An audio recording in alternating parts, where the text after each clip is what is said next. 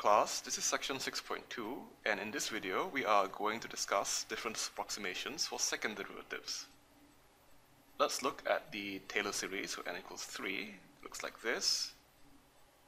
And I suppose we should write down the remainder explicitly too.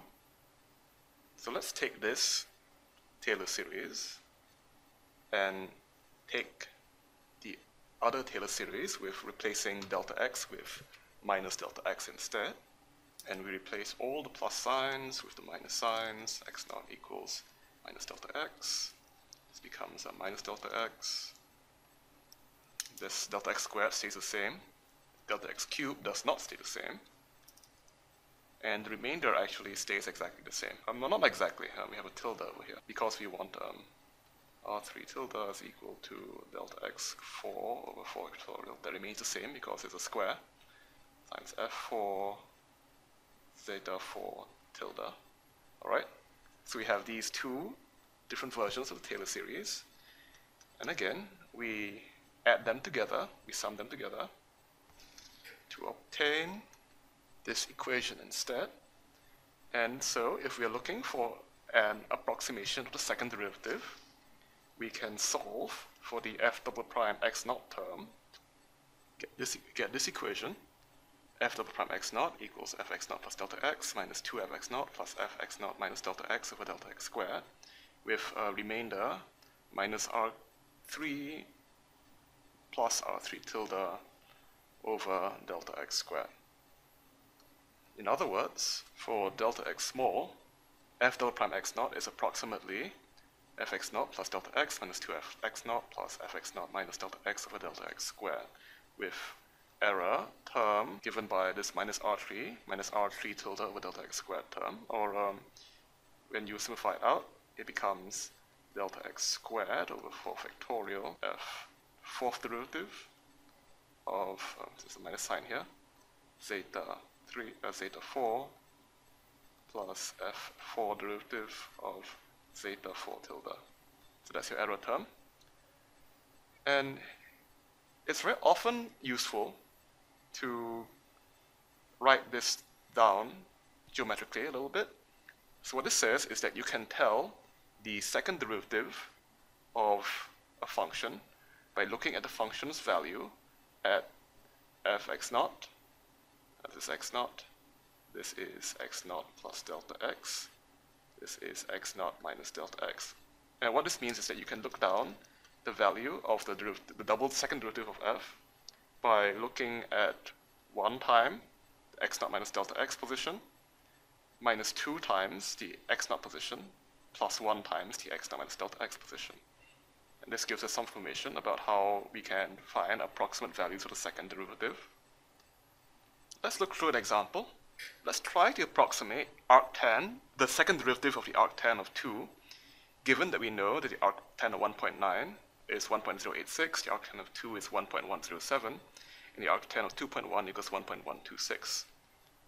And these are values you can easily find using a computer, whereas a computer might not be able to differentiate certain complicated functions. So according to our formula, um, it makes sense that we should set x naught is 2 here, since that's the value that we're trying to approximate. And then we have um, the arctan for 1.9 and 2.1, and these are both 0.1 away from our x naught. So it makes sense that our delta x is equal to 0.1, and of course it makes sense that our f is equal to arc arctan. And let's plug it in to the formula and see what happens. We get then that arc arctan double prime 2 is approximately arc arctan 2.1 minus 2 arctan 2 plus arctan of 1.9 over 0.1 squared. That's exactly what the formula says. And this gives us equals to 1.126 minus 2 times 1.107 plus 1.086 over 0.01 and when you do the calculation you'll end up with negative 0.200. So that's our estimate for second derivative of arctan. And let's see how close we got.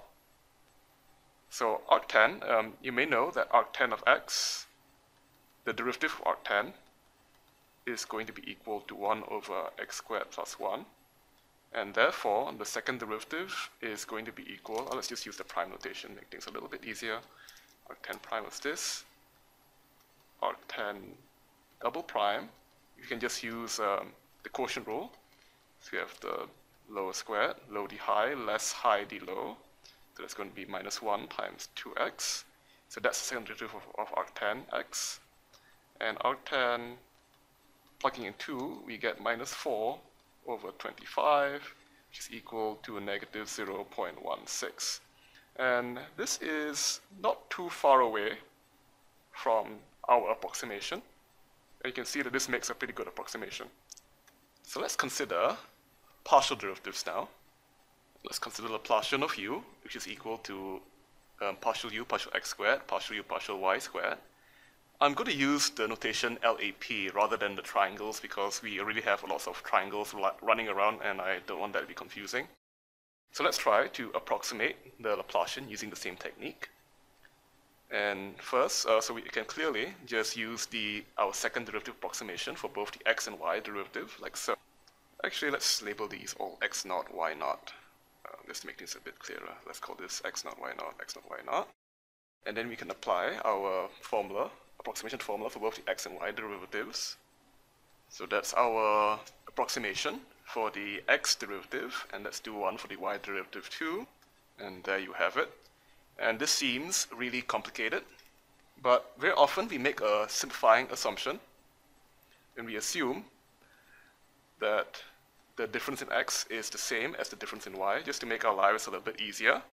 And when we make that assumption, we can find that the Laplacian of u at x naught and y naught is approximately, um, this all should be approximates by the way, I should have got it wrong, it's approximately, so we get to the Laplacian of u is equal to u um, the four terms summed together minus the 4u x naught y naught over delta x squared.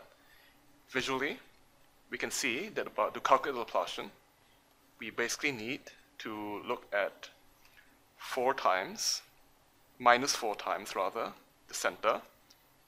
We need to, let's call the center point x naught y naught, and we need to call call in um, one time of uh, delta x 1 time of minus delta x, 1 time of uh, delta y, and 1 time of delta y here, minus delta y. So the point is that to calculate the second derivative, we need to calculate the weights of uh, these five entries, but minus 4 times the center, and 1 time all the four parts on the axes.